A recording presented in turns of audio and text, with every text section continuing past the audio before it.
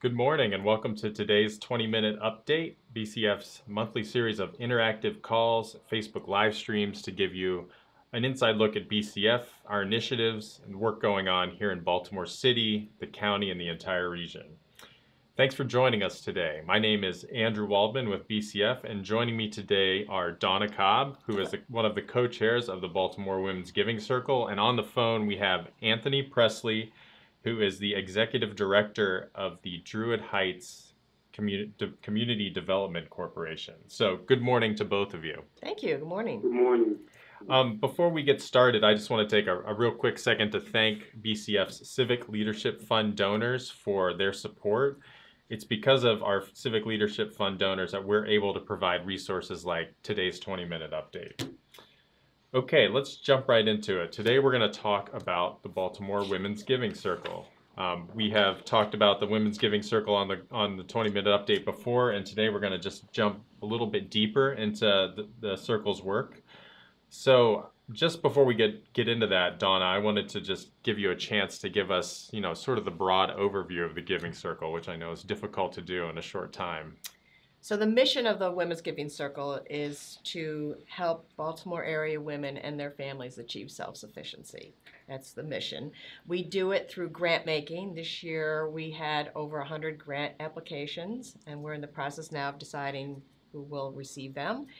Um, we do it through educating our members about issues important to Baltimore area women, whether they be related to Baltimore City, whether they relate to education. There's myriad issues that we educate our women about, which help make them better um, and more and more informed philanthropists.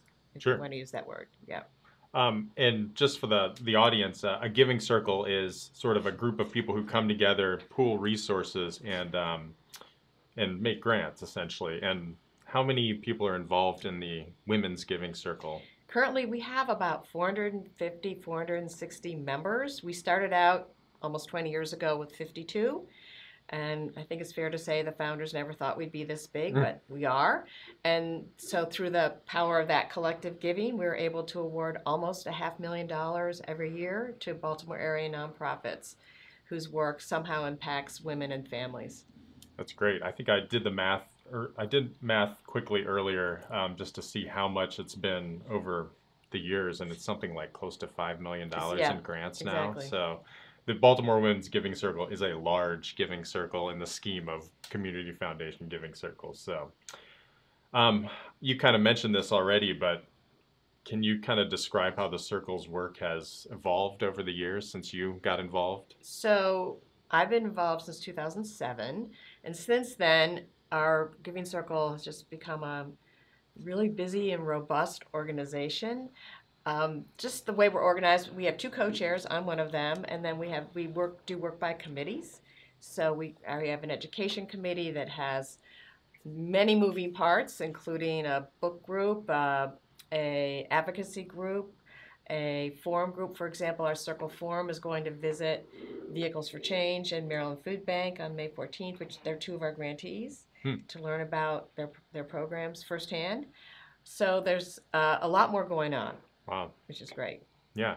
Um, I think we have a short video um, that we wanted to play just to give people an overview of of the BWGC, and this is just a clip of a of a larger video that they have on their website at uh, thebwgc.org. Yes. Okay, got that right, and we'll have that on the screen as well. So my colleague's gonna go ahead and. Welcome to the Baltimore Women's Giving Circle Grant Recommendation Day. It's a big day for those of us who have been involved in grants this year, and it's a wonderful day. So we hope you enjoy it. The Baltimore Women's Giving Circle seeks to empower women and their families to achieve self sufficiency. To do that, the Circle provides grants to organizations that provide support services to women and their families, including healthcare, housing, job training, after school programs for kids, youth mentoring, just to name a few. It's still growing. This program experience has meant growth, honestly. our mission here is to make food that we would give to our children. So I would like, I love making food that I could give to my child. My future goal is to one day open up my own catering business and to help out as many people as I possibly can. Perfect. So you mentioned a little bit before we played the video about the many the committees and groups that are involved in the circle. How do you get circle members out there to learn about Baltimore, educate them about what's going on in the community?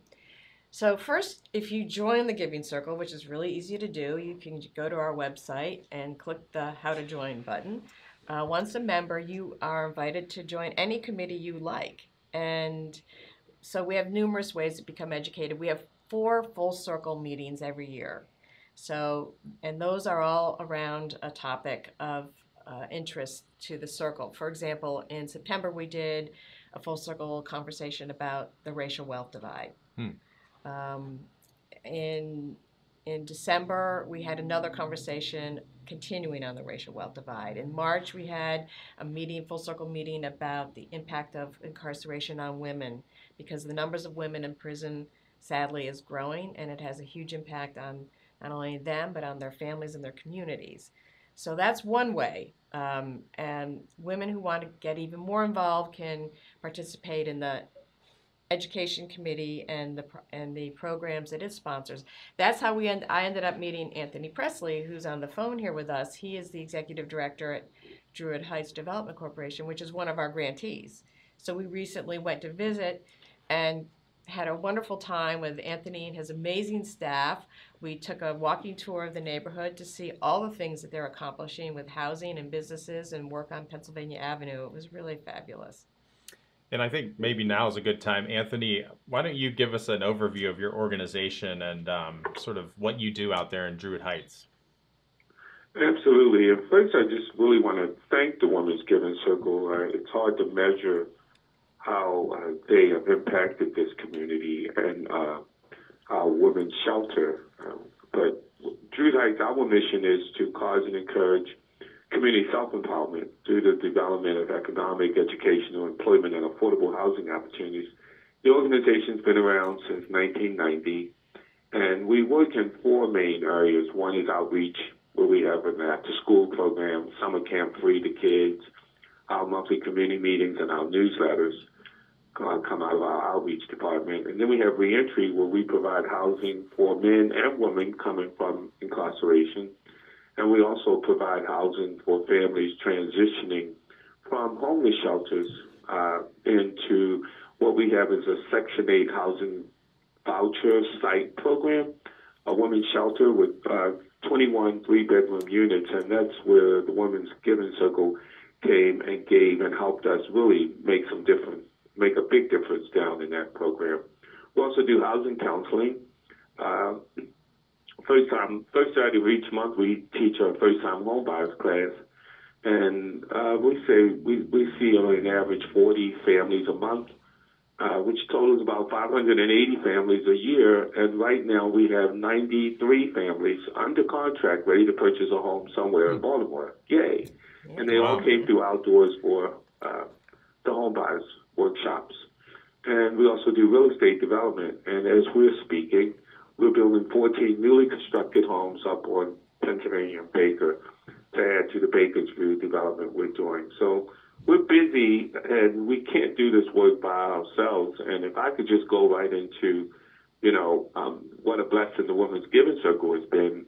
As it was mentioned, they came here to ha- have a meeting but not only did they meet, they stayed with us, and they, I mean, they spent the day with us. They took a tour.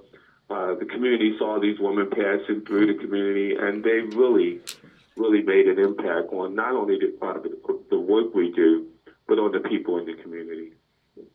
So I wonder if you could tell us a little bit more about how that, uh, what that was like. Um, you know, what did you hear from people in the circle or in the community about about this connection that was made? Right. Well, the connection was first made in 2017 when the Women's Giving Circle awarded us with $20,000 to help us with these uh, families who are in our women's shelter. and we pay their their gas and they pay their electricity. We also pay their water bill, but we were having troubles or uh, struggles with keeping these families, you know, up to date on it on their part of the utilities. We found where they had a lot greater needs, more needs than we actually imagined. Um, some of them needed household cleaning items and uh, amenities, uh, even uh, personal amenities. And what the Women's Giving Circle did in 2017 is gave us funds to kind of help these families, you know, stay on track. And then in 2019, they awarded it again. So in their visit, they sat and they listened to us here at Druid Heights our challenges with this program. And uh, what was so amazing is that it became personal for these women. I didn't, we didn't feel like we were talking to, you know, a group of people who were just here to look and listen, but they actually cared. And just for an example, one of the members of the circle just from hearing our story, she went in her checkbook and she wrote a check for five thousand dollars, individual donor. You know what I mean? Nice. And then another one gave uh, school supplies for our after-school program, and one of them also said to me and has expressed an interest to serve on our board of directors. Wow! So for me, that's going beyond. You know what I mean? That's really caring. And when they walked through the streets of the community, the community was just so impressed to see what 30 women walking through the streets of our community, not just, you know, observing, but caring and, and talking to the people in the community. It was a real big day for us with their visit. I might add here what Anthony's talked about is what we call the ripple effect. Right. And it happens a lot. It's happened to me where um, women come uh, visit some of the programs we fund, and right, the next thing you know, they're either writing a check, they're getting on the board, they're finding other ways to contribute. And I think that's one of the real beautiful things about the Giving Circle for me is the ability to go and see firsthand what we what we're accomplishing with our grantees. I wonder how. And on that note, I should you know add that we've had lots of site visits from plenty of foundations, but never one to this extreme where, you know, they gave in the day they were there and they came back the week later. You know what I mean? That was a first for us and very much appreciated. That's great. I wonder if you, uh, Donna, could if, if there's a way, if you've noticed how working with a group like uh, Druid Heights CDC, going out, making these connections, does that change the way that BWGC does grant making or education programs in the future? What is, how does that inform things? I think it really, anyone who attends one of these site visits and visits like this, it deepens your understanding of what the challenges are in Baltimore uh, for women and families and just what the staff of, of these nonprofits are trying to accomplish, often on shoestring budgets. And so I think if you're a grant reader, you take that knowledge back and it, it forms you. I think it, it's very informative when you're reading grants the following year because you have a sure. better understanding, I think, of, of some of the issues. Um, I think it's also one of my favorite things to do is to go visit grantees because, as we all know, Baltimore is facing some very tough challenges and people like Anthony, his staff, you don't hear about what they're doing, but they're accomplishing real benefits in very challenged neighborhoods like Penn North. Um, I mean, I think you told us that the houses that you built a few years ago, they're all owner occupied and only one family's moved out. I mean, right. And then the bakery we went to around the corner is doing gangbusters. It was really, we all just came back from that feeling so hopeful uh, about Baltimore. And I think that's what a lot of Circle members get from this experience is you meet these incredible folks on the front lines all around Baltimore City, Baltimore County doing really amazing work. That's great. Yeah. Um, Anthony, I know you're really busy, but I just wanted to give people a chance uh, before you go to ask a question if they had it. Um, so if you're watching on our Facebook live stream, you can just type it right into the comments. Um, if you're listening on the call, you can hit star six on your keypad to unmute yourself. So if you're on the call, I'll give you a second to, to do that if you want to ask a we question. We have a question? We do actually have a question. Okay. Um, let me read it real quick. Okay, so this is actually more of a general comment. Um, very excited to hear about the program. Would love to have the Giving Circle uh, come to one of our meetings. This is um, a group called uh, the Park Lane Neighborhood Association. So uh, there's a few people out there who are interested in learning more. I want to just say if you're um, listening on the call or on the live stream, check out the bwgc.org to see more information about them and um, I, I don't know, Don, if you want to react to that. Right, no, I mean- interested. Yes, and anyone who's got questions can send um, an email to help at the bwgc.org. Any potential grantees out there? Um, and if you've never come to one of our information sessions, which we hold every fall here at the BCF, for anyone interested in applying for a grant, send your contact information to grants at the bwgc, bwgc.org. Um, the website has information about how to apply for a grant, how to join the circle.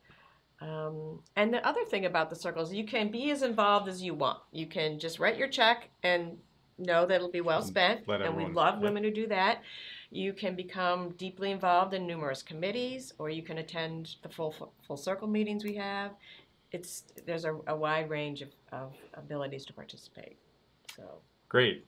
Um, Anthony, do you have a couple more minutes or do you need to go? Oh no, I'm fine. Okay, great.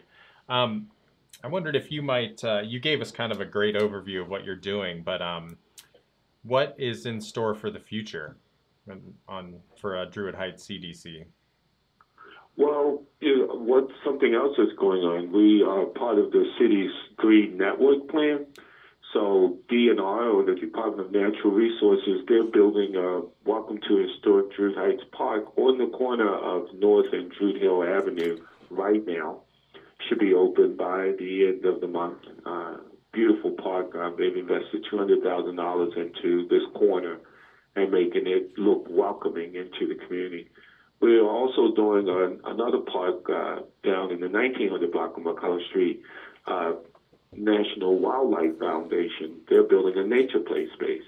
So one of the things that's important for us is that our vacant lots, we appreciate, you know, being able to uh, raze some of these vacant buildings and uh, make green space, but we don't just want big vacant lots in the community. We want every lot to have some kind of amenity or to serve as an amenity to the community. So we have uh, the Gold Street Park coming where the city has $100,000 reserved for us to build that park, and Chesapeake Bay Trust is, is our partner in building a new stormwater management park in the community. So we have about 11 parks coming, and as many as 21 newly constructed homes. We've renovated over 250 of the homes in the community. So we've done a lot of development, and that's really what's keeping us moving forward. But I, I just wanted to say one more thing about the Women's Giving Circle. Um, when when they walk through the community, we I've never received so many calls from community residents uh, that day. We received so many calls, and everybody wanted to know more about the women. They could tell that they were caring because they stopped in the community. They they looked around. They went into the parks. So the phone started ringing off the hook. So what that did for us is it, it validated our work with the community. When you're in the streets and you're in the community working this hard, uh, the people in the community can't really see it until they see others coming to see it, if that makes sense. Oh, yeah, that's interesting. So looking at these women walk through the community really encouraged the community in a way that I really can't explain. That's great. We, you, I mean, want to give you a chance to tell us a little bit about the other programs that uh, BWGC funds and has participated in, and also how do you decide on this? There's a huge breadth of grants that you make. I mean, how does that process all come together? So our grants are all listed on our website, so it would take a long time to go through all of them. Oh, not all of them. Let's Right. go through a couple. A couple. a couple. Um, oh my gosh, they range. So we, I'm thinking of in the video, you can see the City Seeds program that, that that's part of Humanim. That's over in East Baltimore, and that's a program. It's a really a workforce development program, and they're featured in the video. Sarah's Hope, which is on the west side on Mount Street, is um, a transition ho- transitional housing program for formerly homeless families, and they've had great success with housing people. You know, transitioning people to their own homes when they come out of Sarah's Hope. Um, hmm, boy, I don't want to like you know, there's so many. Um, Sister Circle is a mentoring program. Here's an example. Sister Circle is a mentoring program in Baltimore, and I'm in a mentor Okay. because of what I learned in the Giving Circle. Hmm. And so I've been mentoring a, 11, a girl who's I've had her since she was 11. She's now 17. We just went to Sherwood Gardens together yesterday. Perfect. Um, Wow. And um, they've done amazing work with pairing um, mentors, Baltimore women, with young women in Baltimore for six to seven years wow. and changing the lives of both the mentor and the mentee. But there's, I mean, there's so many amazing programs. You know, we're going to go visit, as I said, Vehicles for Change and Maryland Food Bank, which has a workforce development culinary program. Um, gosh. And, and something else that's a little different about the Women's Giving Circle is they have a grantee connect. Oh, So thank you. once you receive the grant from them, they stay connected to you. I- They have another forum coming up on May 2nd, which brings together all the grantees and uh, uh, pipelines to networking and just just great resources. And I, I I can't speak enough on how foundations will give, but then after they give, that's that's pretty much it. But for the Women's Giving Circle to bring everybody back to learn best practices and some other uh, networking skills is really key.